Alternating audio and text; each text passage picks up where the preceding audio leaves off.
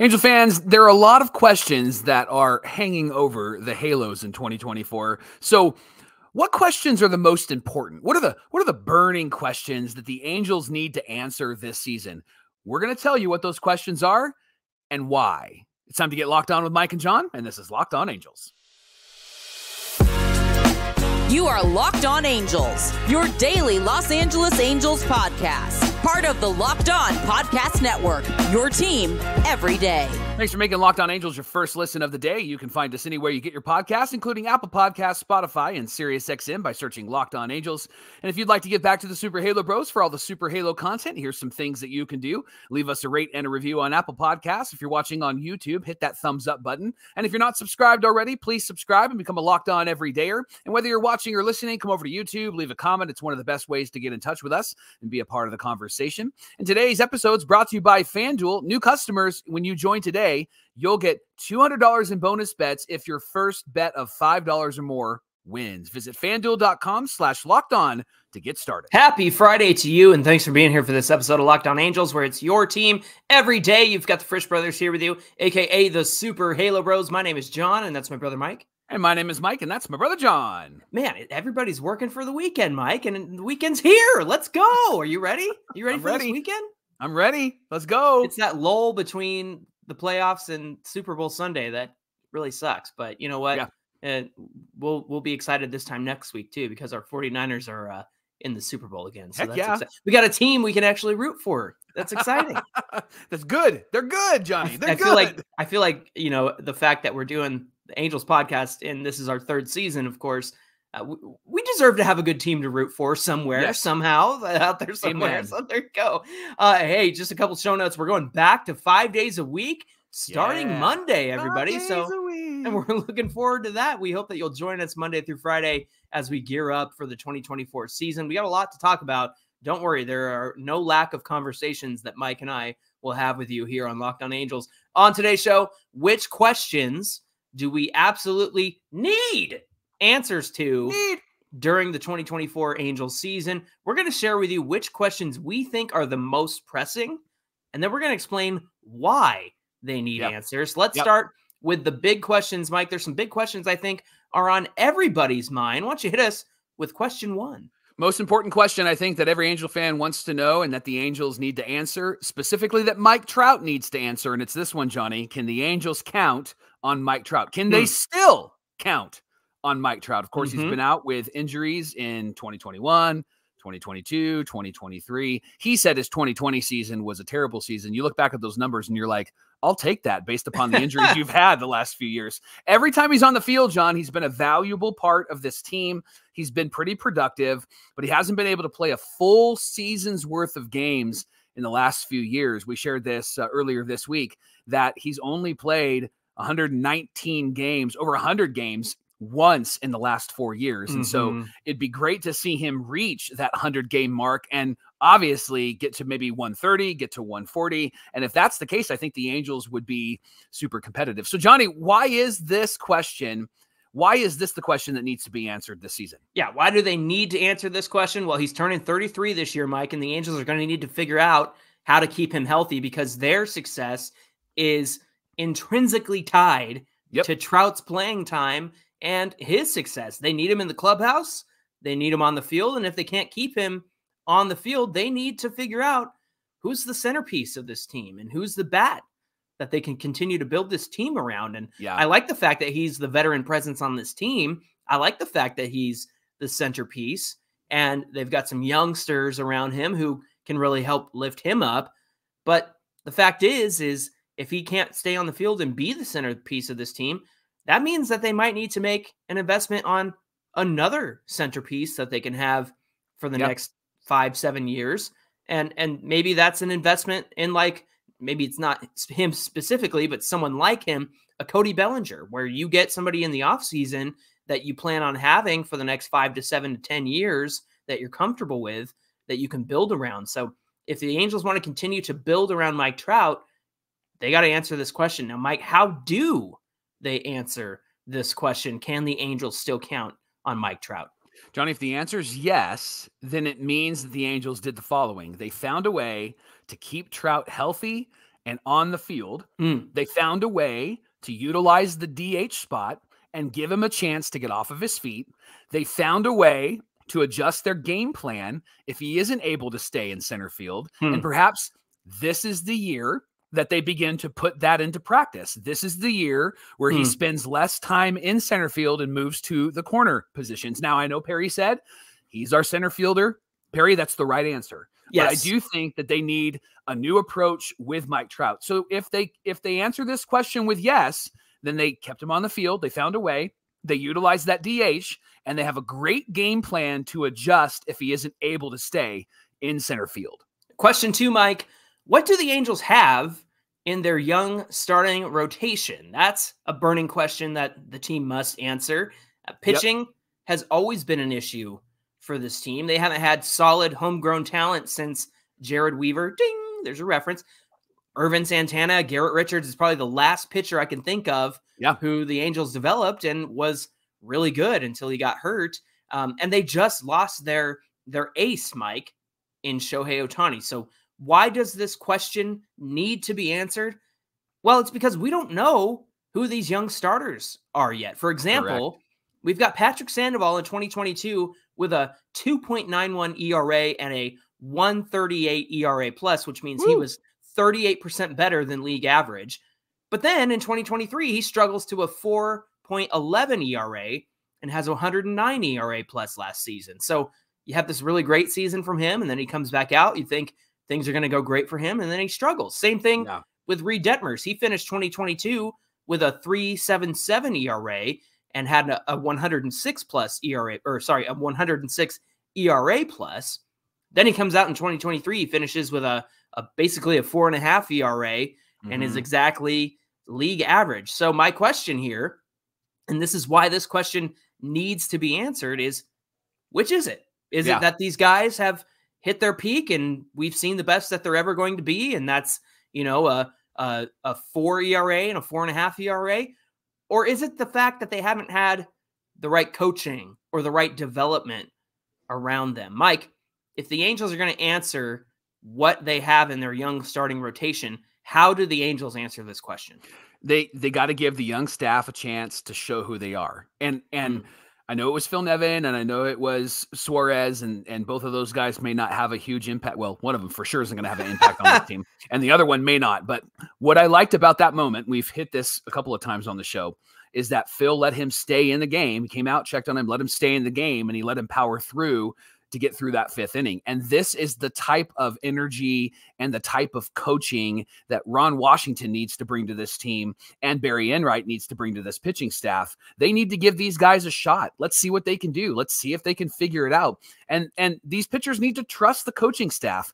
And quite honestly, they haven't really had that luxury the last few years No, based yeah. upon who they've had around them and that this coaching staff needs to guide them and help them figure things out, not tell them to adjust their entire game plan like, "Hey Reid, why don't you just pitch to contact since you're really struggling with right? That was such a dumb move." And Right. then Reid figures it out the next start and even figures out how to throw his slider differently. And Reid, who taught you that? Oh, I was sitting on the bench and I figured it out, right? And so that's the type of stuff that has to stop. Like they need to have a cohesion when it comes to their pitching staff and their coaching staff Mhm. and and basically Barry Enright and with this with this starting rotation. And they need to provide the coaching staff with all that they need. It's it's it's up to them, right? To have all of the tools, all of the resources that can help move this pitching staff from potential to performant performance. And this is the year, Johnny, that they need to figure all of that out. And I think that they have a shot to do that because I'm really excited about this coaching staff. You doing okay over there with that your, your camera? just just tried to move the camera back a little bit and it almost fell off the desk. My bad. So, audio audio listeners are fine. We're we're, Right. we're okay. Didn't even notice. I Yeah, should have not exactly. said anything.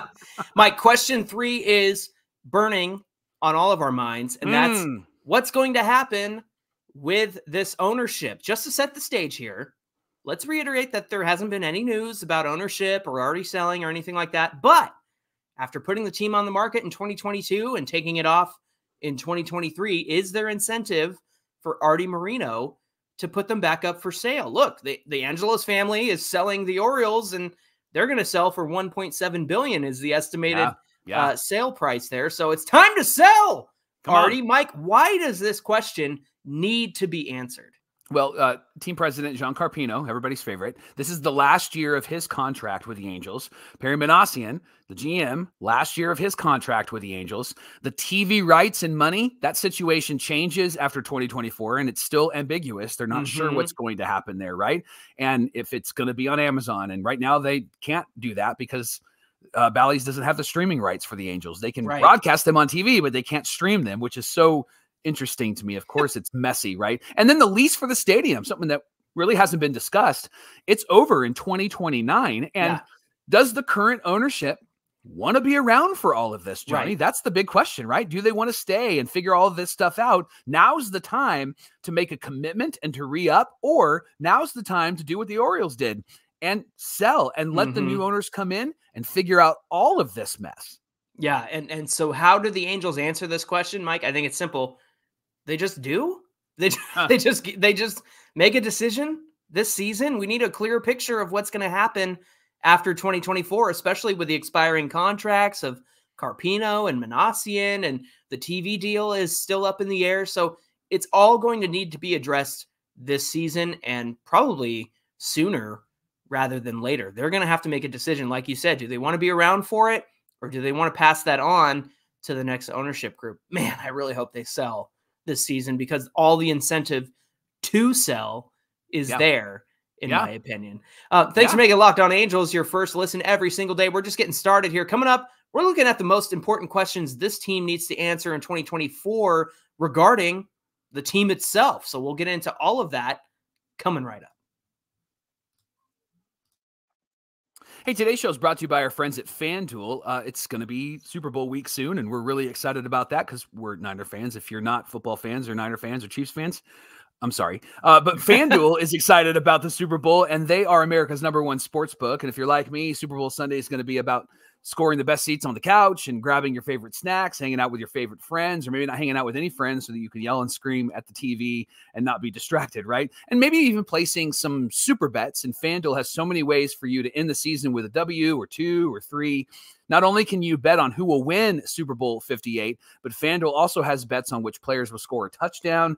I'm going to go with I think I'm going to go with CMC. I'm, I think that's a guarantee. Oh, that's a guarantee for sure. Yeah. Yeah. yeah, I'd bet on him, and I think Deebo would be a great smart move as well. And even on the on the Chiefs side, I'm sure Travis Kelce is going to find his way into the end zone at some point, right? How many points will be scored? You can bet on that. There's so many more. And new customers join today, and you'll get $200 in bonus bets if your first bet of five dollars or more wins. Just visit fanduel.com slash locked on to sign up. That's fanduel.com slash locked on, and you can make every moment more with FanDuel, an official sportsbook partner of the NFL. It's the Locked On Podcast Network where it's your team every single day. We are so grateful that you are here with us. Now, if you want more sports conversation, you know that Locked On Sports Today on YouTube is the place to go. It's the first ever 24 7 national sports streaming channel, and it's available on YouTube. So head on over to Locked On Sports Today, hit that subscribe button, and you'll be awashed in sports conversation all day long from the local experts of Locked On. There you go, English major, baby. Uh, the local experts of Locked On, plus the national shows as well. So head on over to Locked On Sports today and subscribe to the first ever 24 7 national sports streaming channel. You said pertinent on our Wednesday show, which I appreciated. Now a washed, like that degree, you're putting it to work. I love that. Okay, Johnny. I didn't, I didn't think it was having anything to do with the conversation. okay, let's continue with the questions that need to be answered by the Angels this year. Johnny, question number four is what impact does the coaching staff have on the Angels? So let's review. Doodle-doo, doodle-doo, doodle. Let's go back, right? Old school reference there for uh, uh, all you older people like me. Uh, let's review where this coaching staff has been the last few years. They they hired Mickey Callaway as the pitching coach in 2020 but he was fired after his inappropriate behavior was made known in, in 2021. Then Matt Mhm. Wise moves in from bullpen coach to interim pitching coach, and he stays on as pitching coach for the last three years. He felt like years. felt like uh, it- just between you and you and I, John. Remember the modulars at the church that I lead? Remember how they were supposed to be like uh, like only there for a couple of years, and they ended up being there for like Those- you're 27 talking years. About those temporary, yeah. like, I taught high school English out of one of those modulars. It was Yes. like oh yeah, this is just temporary, but then it just Right. ends up becoming a permanent thing. 40 Yeah, years Matt- later, they're still Matt, there. Matt Wise is the modular of pitching coaches. I love that. yes, he is. And then Jeremy Reed is someone Angel fans and me included, you included, were very frustrated with. He was the hitting coach. He was let go prior to 2023. Marcus Thames comes in and he had an approach, which was attack the zone, Yeah. hit early, hit hard. And the guys didn't seem to make adjustments after that. They didn't really come up in situational moments and think intentionally and logically on how they're supposed to Mhm. come through in that moment, right? And then Joe Maddon comes in in 2020. Perry doesn't seem to trust him. There's a lot of interference between both of those guys Right. on how to manage, right? Maddon's let go in 22. Phil Nevin takes over. Nevin gets the job in 23 in light of the pending sale, and then the sale doesn't happen. And so he's kind of this manager for the team. What happens next year?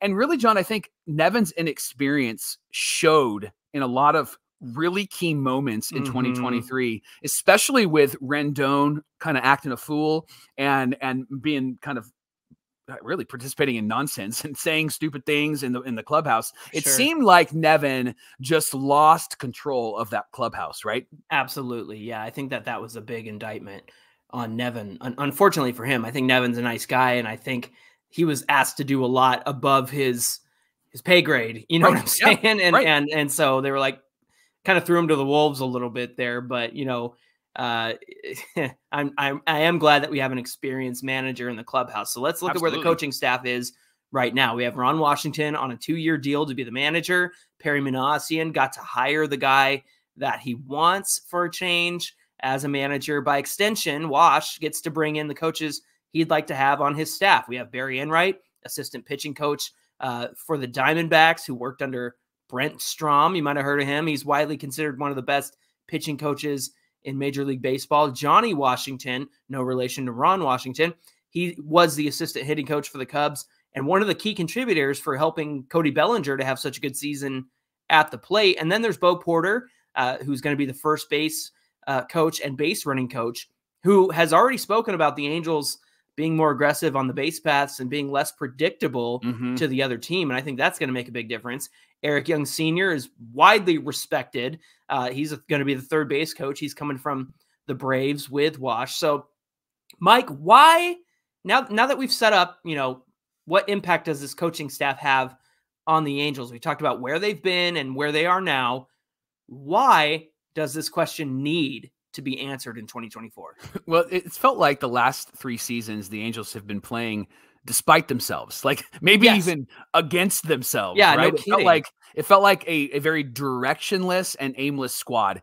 And I know that the Angels haven't been good since 2014, but there were some seasons with Mike Scioscia on board where it was like, well, we were close and we still feel like a, cohes- a cohesive team.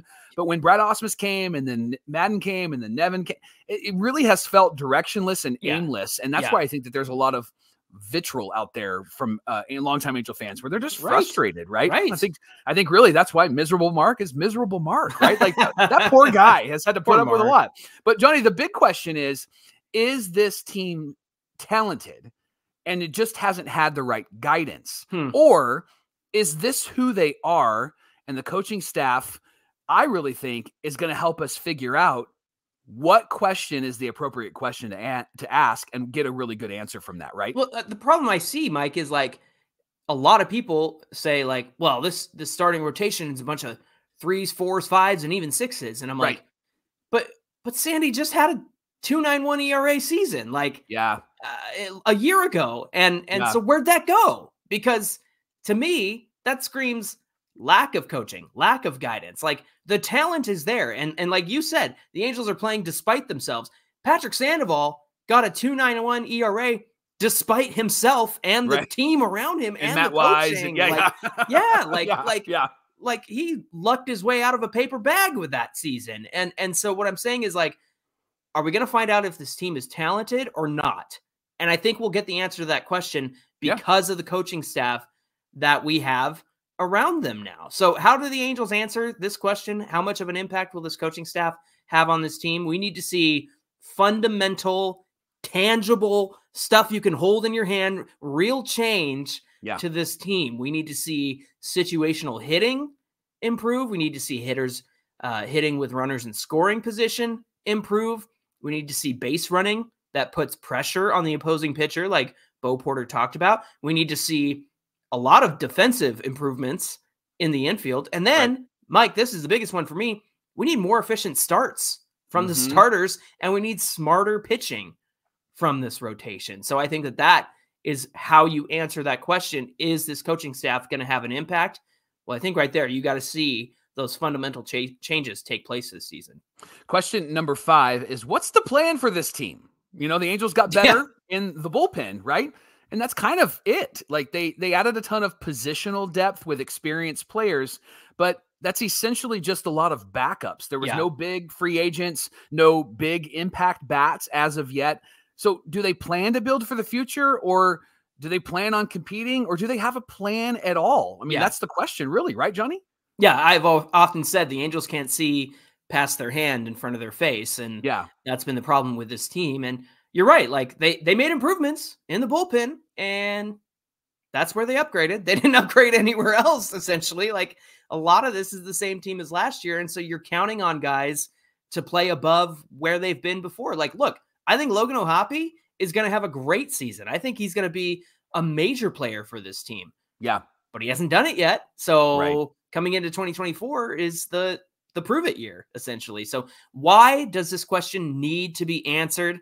Well, look, they they made a big investment in the coaching staff when bringing in Ron Washington. Like this is a really good coaching staff, Mike. Like this is really good. So is the plan going into this season hoping that they just improve the talent that they already have because they haven't made any quote unquote playoff moves and does that mean that they're confident in who they have on staff and on the roster? Uh, are they evaluating the talent they have locked up for the foreseeable future? Because you've got a lot of guys under team control like Neto and O'Hoppe and Schanuel and and the pitching staff. Like you have a lot of those guys locked up for a good long time. So if that's the case, they have to see it through and they have to commit to that. And it might not mean a lot of success for 2024. I'm sorry to say it, Angel fans who are looking forward to the season. Like Mike and I have said, like, no expectations. I think this is a very evaluative season. So yeah, that's why it needs to be answered. Like, what are we what are we doing here? What's the plan? Yeah, yeah. And here's how they answer it, Johnny. They got to let the guys develop, like Sam Bachman, for example, who mm. was a, was a high draft pick.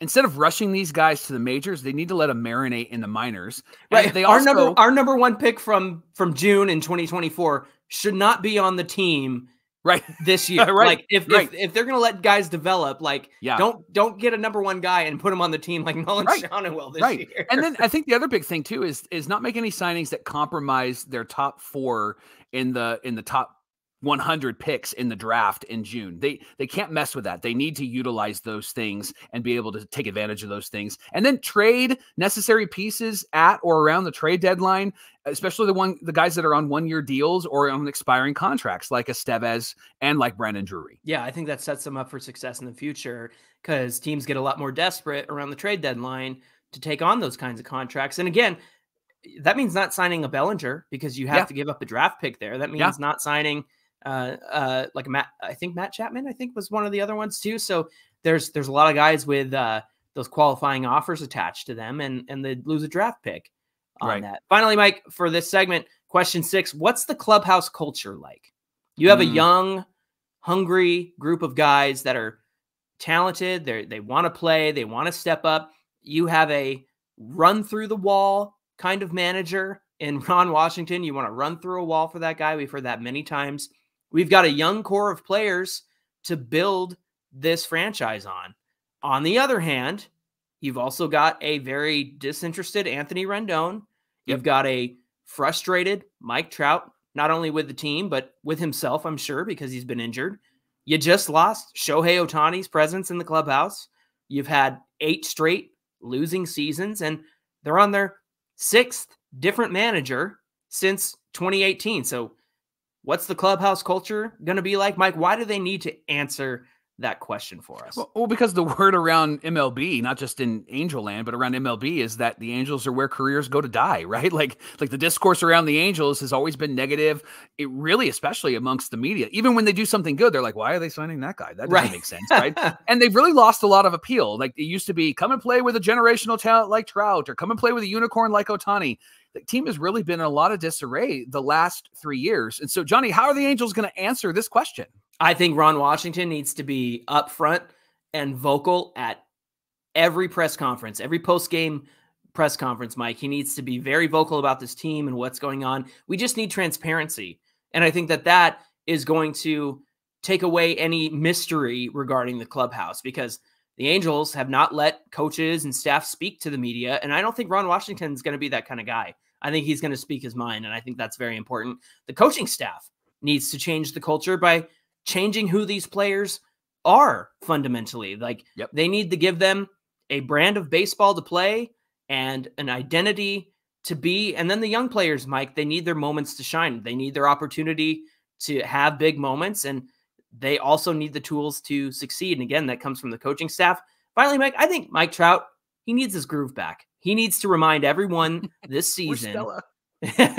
He needs to remind everybody of who he is and honestly have an MVP caliber season Yeah. because I think that's going to change the way people look at this franchise come 2024. Hey, can I take a moment and talk to you about Logix Credit Union? They have some really great auto loans that you, I think, could really benefit from. So, first, let me talk about the proven and dependable new and used vehicle loans. You can count on Logix to give you low rates and save you big time bucks. They also have electric vehicle loans. And so, for some of you that are moving to the electric vehicle, they have loans that are have super low rates, flexible payment terms, and then they also have auto refinancing loans and lease buyout loans. With Logix, you can lower your monthly payments and then get on the road to owning your car a whole lot faster.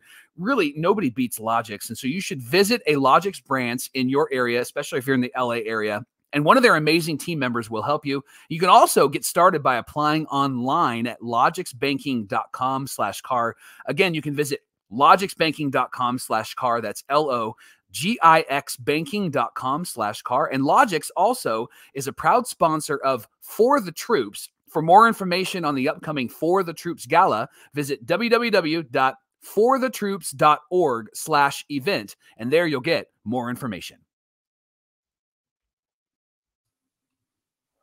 Mike, we've got a couple more questions that the Angels must answer in 2024. These has to do with uh these have to do with a couple of position players. Let's start with the question number 7. What's the plan with Jo Adell? What's going on there? And they Johnny- they need to, they need to answer this.